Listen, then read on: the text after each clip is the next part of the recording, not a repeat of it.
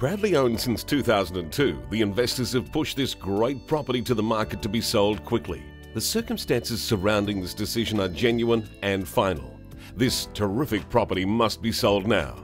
Embracing an elevated position with a sprawling 980 square metre block, the property is found at the end of a cul-de-sac in one of Helensvale's best streets boasting a brilliant easterly aspect, catching the skyline of Runaway Bay to Main Beach, 11 Leura Place Helensvale also features an oversized master bedroom fit for a king with ensuite and walk-in robe, two massive outdoor covered entertaining areas, separate living and dining areas, and ample off-street parking for all of your guests.